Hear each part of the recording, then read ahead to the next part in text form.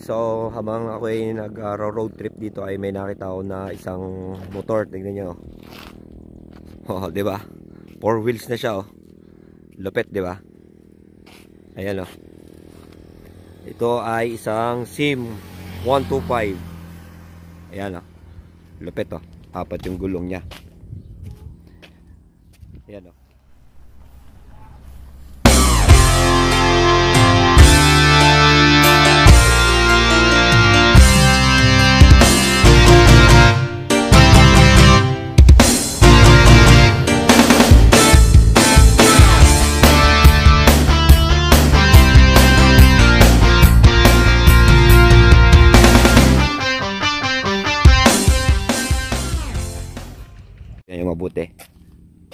Pero ang mas malupit pa dyan, eto, yung driver.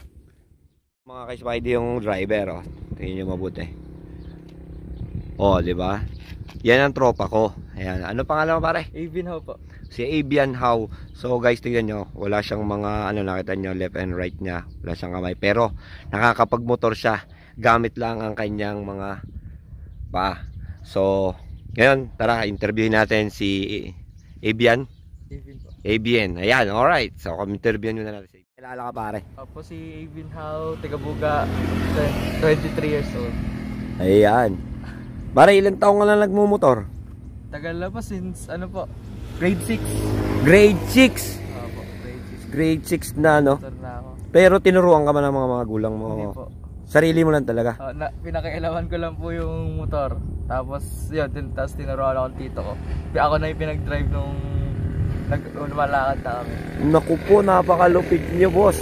Tingnan nyo ha, guys ha. Nakakapag-drive siya. Pero ang gamit lang daw ang mga paa. So ngayon, papakita namin sa inyo kung paano siya mag-drive, magpaandar ng motor at paano, ah, hindi ko rin maano eh, ma-imagine kung paano niya da-drive to nga isa.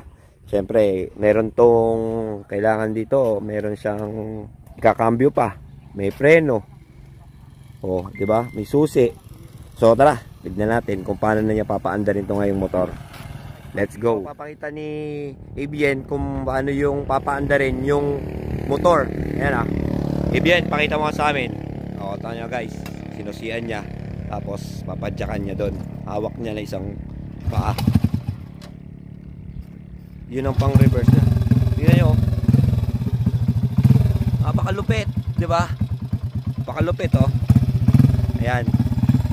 Paano ka naman magkakambyo niyan, pare? Paano ka magkakambyo? You know? Kakambyo niya tapos pinanda-drive niya yung silinyador yung paa niya. Ayan oh. O sige ngayon.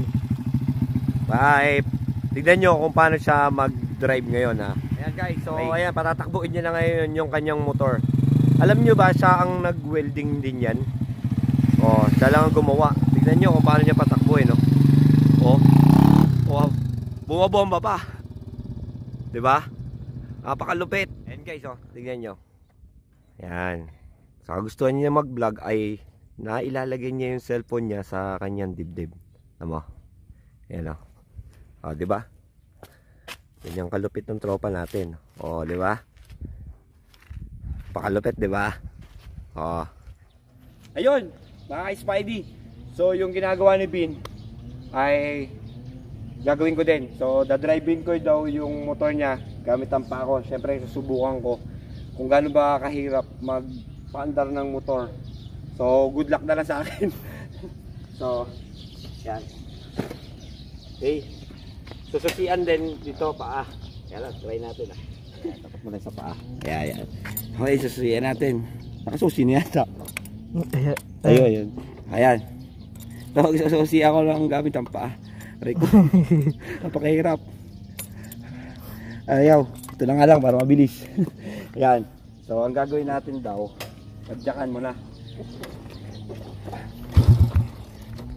Kailangan may silinyador, di ba? Kailangan po, may slinyador. Ito, napakalaki ng paa ko.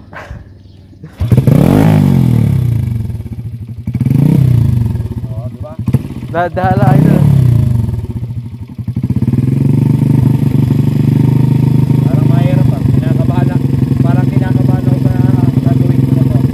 Babuhat. Tapos cambio.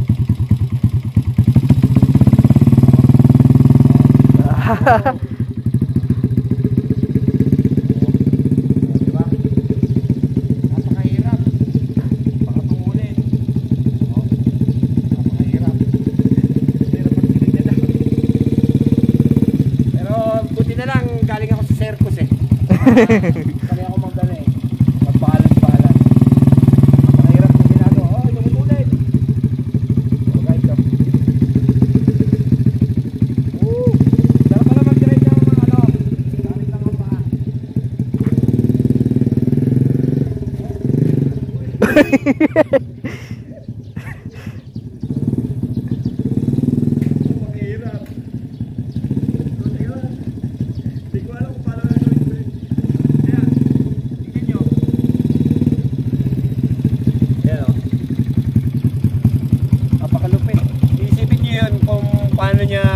magsasabay-sabayin yung preno, yung cambio, tapos i-start na silinyador.